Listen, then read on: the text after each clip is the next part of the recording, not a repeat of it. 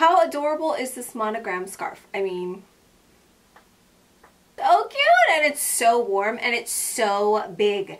Like, I mean, this whole thing could be like a blanket I could like swaddle Carson in. It is so big, so warm and just super cozy. And doesn't it scream fall with like the fall colors? And I just love monogram things. So I wanted to give you guys a fall inspired kind of get ready with me with um, featuring out like an outfit of the day and pieces that I use to style today's outfits. I just wanted to come on here and film a get ready with me. I hope you guys enjoyed the video. It is by no means does it feel like fall here in Savannah. Like actually I'm burning up right now because it's so hot.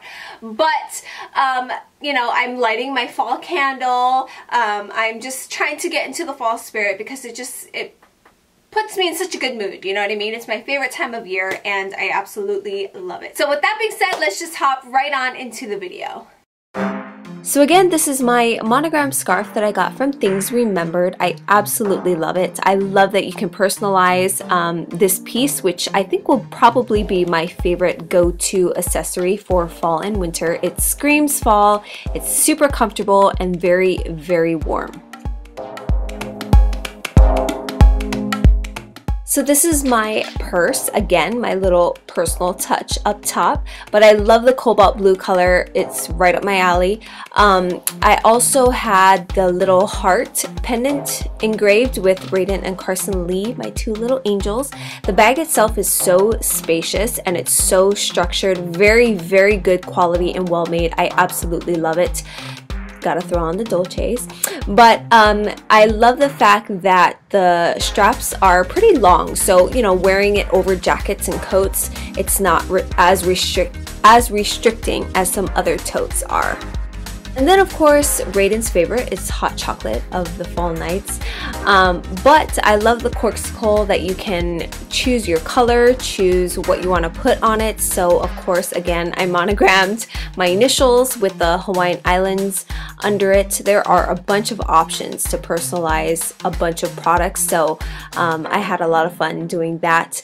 But it keeps your hot chocolate super, super warm for a good amount of time, which I love. And then of course the boots. Can't forget the boots. I mean, aren't we all happy that we can finally wear boots? and then lastly for my watch, this is from Things Remembered and I was able to engrave it with our initials, uh, Randon, Raiden, Carson Lee, and Boo Boo. Can't forget the Boo. And then I just added some earrings. Um, the hat I was kind of unsure about. I was like, do I want the hat? Kind of yes, kind of no, but I was having a bad hair day, but I kind of wasn't feeling it. so, life of a girl, right? Now onto the makeup part of the video. This is, of course, the Best Damn Beauty lip mask. I love that stuff. So good. Um, this is the primer from IT Cosmetics. I will list all the products that I use in the video down below in the description box. And this Marc Jacobs foundation. It's kind of a love-hate product for me. When I first got it, I hated it. Now I love it. Don't ask why. But um, it kind of looks very off, but don't get me wrong, it's a little bit lighter than what I am at the moment, but it's not that bad as far as how it looks on camera right now. so keep that in mind. I go in with the Beauty Blender and just kind of pat and bounce that product out.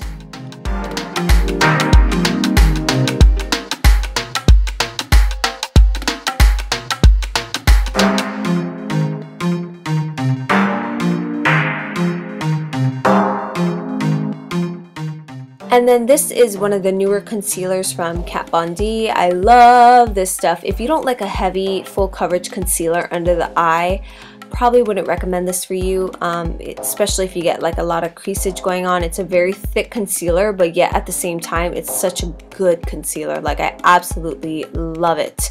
Um, I've been using it non-stop for the last couple weeks ever since I got it and it's, ugh, it's just amazing. But as I get older, I have been noticing a little bit of creasage every now and again, so I go in with this Airspun powder and I was getting it all over me. Like, note to self, don't wear black if you plan on using this powder because it literally got everywhere. But the product itself It stinks, like it smells and reeks, but it works so good. And I love the fact that you can just pack on that product without it looking super cakey. Oh, I love it. And then I'm just gonna go in and um, use this concealer from MAC as a eye primer. As you can see, I already did my brows. For whatever reason, I tried to record it. It just wasn't working, so I had to go up all in the mirror and do it off camera. And this is the Morphe 350 palette and that I just nicked a color. Good job, Ashley. But I'm going to go in and just kind of play around with colors. Raiden's over here listening to me and laughing at me.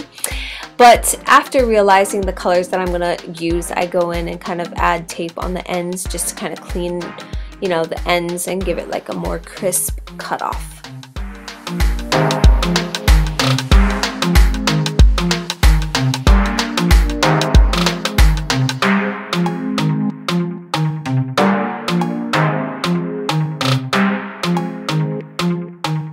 And then taking my damp beauty sponge, I'm going to go in to the Airspun and just kind of add it under the eye and then up right there just because my tape is going to go there and I don't want it messing up my foundation. I'm really going to pack on that product um, and just let it sit there and Sista is going to bake for a little bit.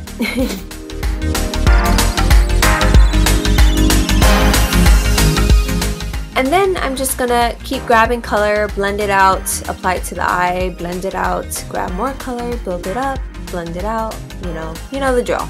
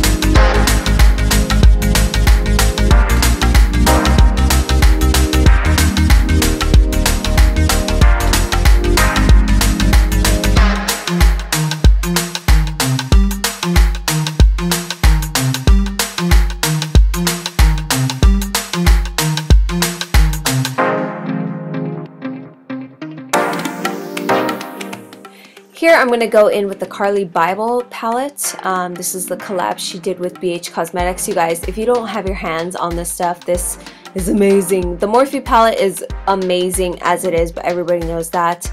Um, this palette is, ugh, I am so obsessed with it. And the pigmentation is unlike any of my other BH Cosmetics um, eyeshadows. I kid you not. So I added some falsies and then now I'm going to go in with this eyeliner from IT Cosmetics and just kind of water, what? just kind of line my waterline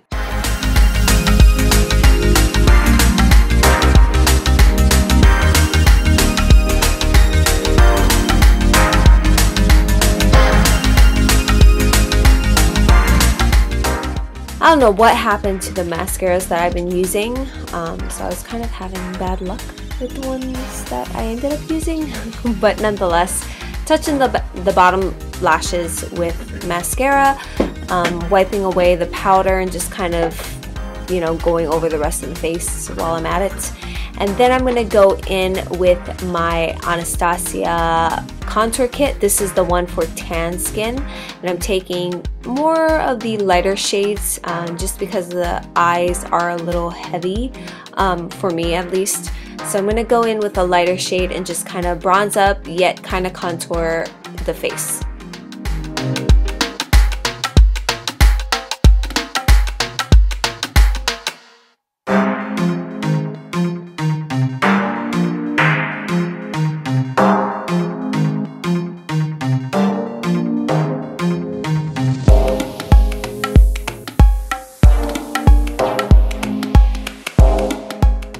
And then taking this blush from Milani. This one is the color Rose d'Oro or Dior, I don't know how to say it, but I'm going to apply that to the cheeks. And then I'm going to go in with the Jaclyn Hill face palette in Champagne Pop. And we're going to pop that sucker on our cheekbones, um, the high parts of the face, the nose, nose bridge, cupid's bow, above the brows. And then I'm going to touch Prosecco Pop and just kind of add that right on top.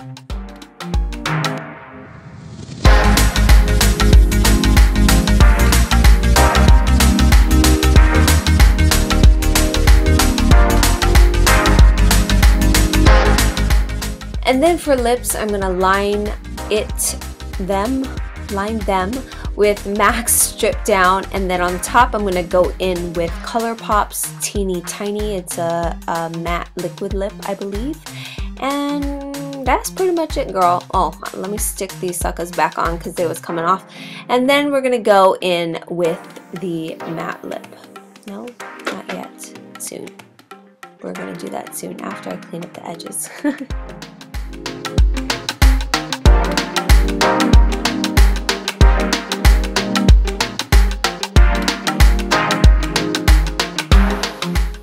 So that's pretty much the entire video. I hope you guys enjoyed it. If you have any questions, feel free as always to leave it down below. And until next time, I will see you guys in the next video. Bye!